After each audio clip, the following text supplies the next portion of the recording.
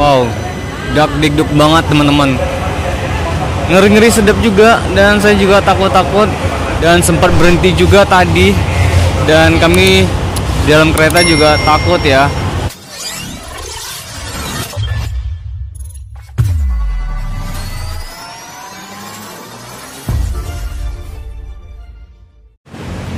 Assalamualaikum warahmatullahi wabarakatuh. Halo teman-teman Sang Purnama Gimana kabarnya? Semoga sehat selalu dan dimudahkan rezekinya ya Amin. Video kali ini kita masih membagikan informasi tentang transportasi murah yaitu LRT Jabodebek Dan sekarang ini tepatnya saya lagi berada di stasiun LRT Taman Mini ya. Karena di video sebelumnya saya habis membagikan informasi tentang LRT tujuan ke Taman Mini dan sampai ke Taman Mininya juga dengan total biaya itu sudah kita uh, tarakan keseluruhan dengan total 11.500 nih teman-teman. Jadi bagi teman-teman yang mau ke Taman Mini sekalian menaiki MRT, MRT menaiki KRL dan juga LRT ya dan habis itu bisa teman-teman naik angkot juga maupun busway juga. Jadi tiga transportasi umum yang kita naikin nih teman-teman. Dan sekarang ini kita akan coba kembali lagi ke duku atas. Untuk tambahan informasi aja buat teman-teman kalau misalkan mau ke arah taman mini yang di arah sini arah kanan kita ini arah ke taman mini gak mau menaiki transportasi tambahan seperti busway teman-teman bisa menaiki shuttle bus tadi yang warna kuning tadi yang kita videoin di awal tadi ya. Nah di ujung itu adalah shuttle bus. Itu naiknya gratis. Teman-teman nggak usah bayar nggak dipungut biaya juga kalau nggak salah ya.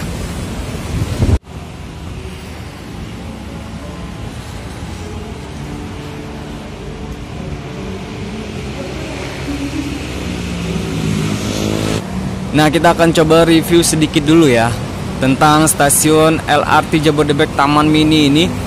Kayak menarik banget kalau saya lihat seperti kayak hotel gitu ya. Jadi teman-teman kalau misalkan oh menaiki Grab itu bisa langsung berhenti di lobby seperti ini. Lobbynya ada langsung seperti kayak di hotel-hotel kayak gitu atau kayak di bandara gitu ya. Nah ini panjang banget lobbynya yang diantarin sama keluarganya juga bisa ataupun yang naik Grab juga bisa ya. Dan kita akan coba naik ke atas dulu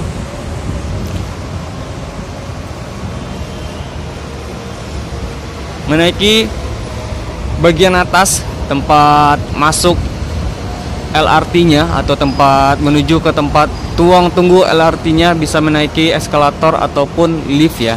Lift ada yang bagian bawah tadi kita nggak sempat sub juga dan kita menaiki eskalator aja. Nah ini liftnya yang saya kasih tahu tadi ya.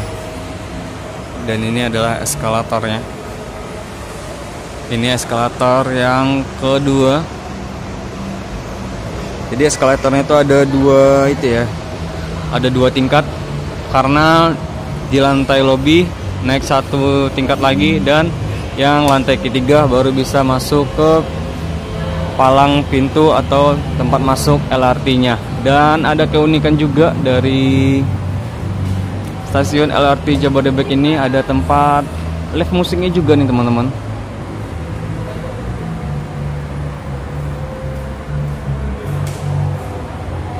Nah sekarang kita udah berada di dalam pintu masuknya. Di sini ada loket buat beli kartu dan di sini juga ada buat masuknya juga. Dan di bagian ini juga sama ada loket buat pembelian kartu juga ataupun buat masuk juga nih teman-teman, pelang buat masuk ya.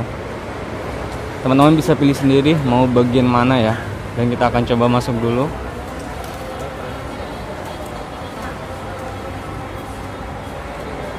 Duku atas itu ada di peron 2 Nah di video sebelumnya kita sempat isi air atau nambah air dulu di stasiun LRT Jabodebek Taman Mini ini karena di sini ada keunikan juga ada tempat nambah air ya.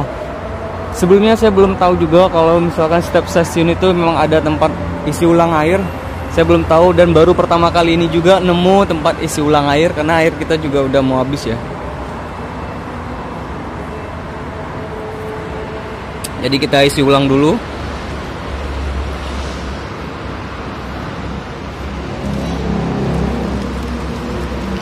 kayaknya ada yang cool juga yang dingin ya. Ini yang dinginnya kita ambil.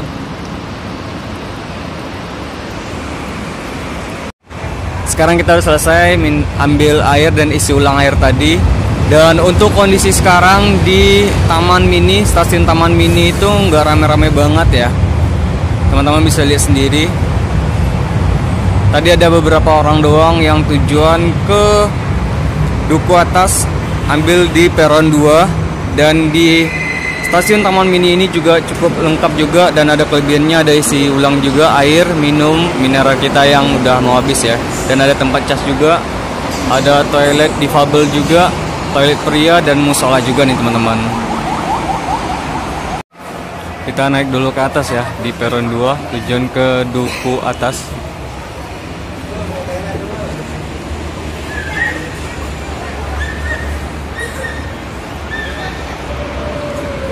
Nah sekarang kita udah berada di tempat tunggu kereta ke LRT-nya dan ternyata di peron 2 ini yang tujuan ke Duku Atas itu nggak terlalu rame ya. Nggak terlalu rame juga.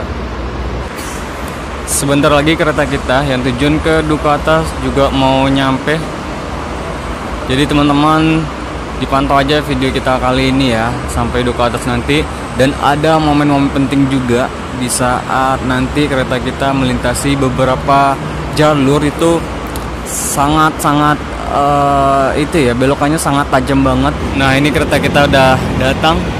Kita akan coba langsung naik di bagian depan ya. Aduh ternyata bagian depan juga ramai banget. Yang melihat suasana dari dalam ya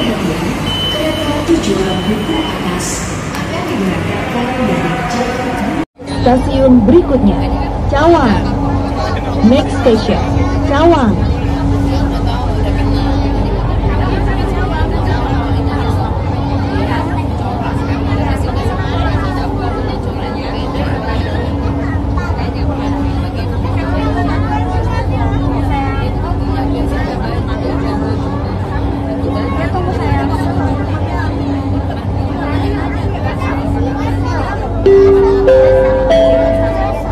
Demi kenyamanan bersama, dilarang makan dan minum, merokok, membuang sampah di dalam kereta, serta dahulukan tempat duduk untuk penumpang prioritas.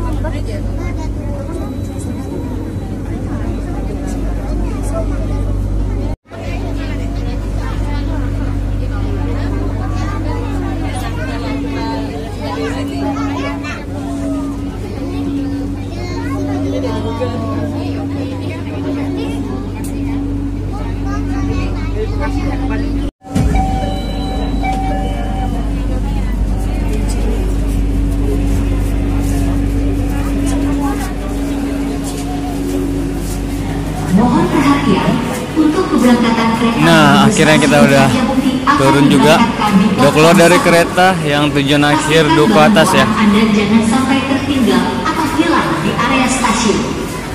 Terima kasih. Demi keselamatan Anda, harap selalu berdiri di belakang garis.